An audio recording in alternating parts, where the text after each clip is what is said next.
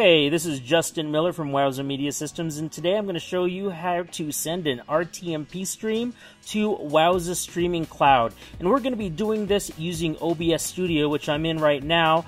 But uh, let's jump on over to a Wowza Streaming Cloud account.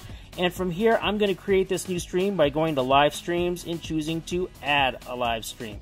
Now, I'm going to call this live stream Denver Life, and I'm going to choose to use US West since that's the closest area to my broadcast as the place I'm going to be streaming from. I'll click next and as well this is an RTMP stream so I'm going to choose for my encoder other RTMP. Now the rest of these settings I'm not going to worry about. I'm going to leave them as default. You can always go back and change many of them in the future but for right now I'm just going to finish up and create this stream and here we have our source connection information. Now, I'm going to take this source connection information starting with the primary server, and I'm going to bring this over to OBS under settings by going to stream. And under stream, I'm going to use the stream type custom streaming server. There's my URL, going to paste that in. I also got to add a stream key. That's my stream name. Paste that in use authentication. I'm going to grab the source username and I'm also going to grab the source password. Oh, almost didn't grab it there. One thing you should know sometimes copying this stuff over is not perfect. Sometimes it adds a bracket or something in there that's hidden. Uh, so, just to be safe, I just like to delete the ends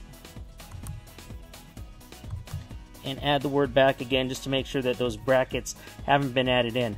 Now, a few other settings that we may want to change. I'm actually going to go back to settings and I'm going to change my video to be 720p because I'm going to be using my webcam and that webcam is 720p.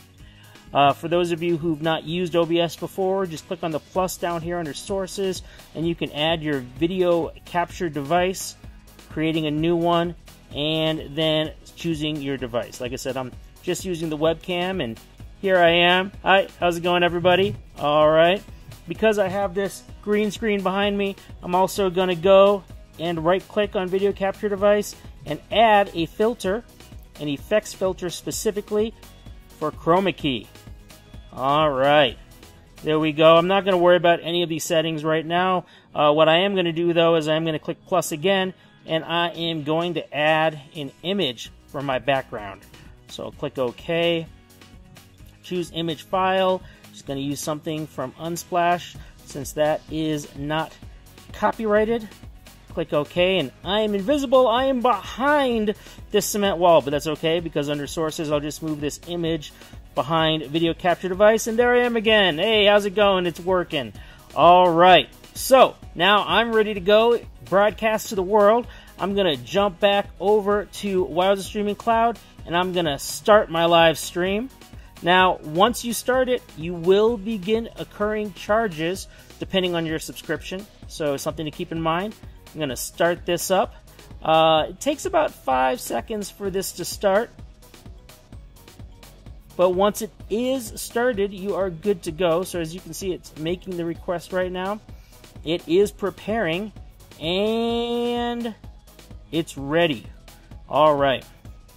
So now that we're ready to go, I am going to go and jump back over to OBS and I should be ready to start my stream.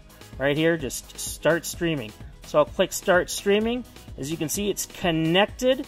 I am showing how long I've been live down here at the bottom, uh, CPU usage, etc. If I tab back over to Wowza Streaming Cloud, I can see that here's a thumbnail. Uh, it refreshes every five seconds, letting you know I'm up and running. I have health monitoring right here uh, with quite a number of statistics letting me know what's going on. And if I want to see this live on the hosted page, I can just click open here for hosted page URL and I can play and you will see me. All see, right. Whoa, I better turn my volume off. Now, you notice that there is a bit of a latency. That's because what you're seeing is HLS because we're repackaging that RTMP stream into HLS for this right here. Also, if I wanted to, I could go and say playback on my phone by using the uh, playback URL here. Or I could just add myself using the player embed code to, well, uh, a site, um, or, you know, other places I want to be on. All right. Well, hey, that's it for me. I'm Justin Miller from Wowza Media Systems, and you all have a great day.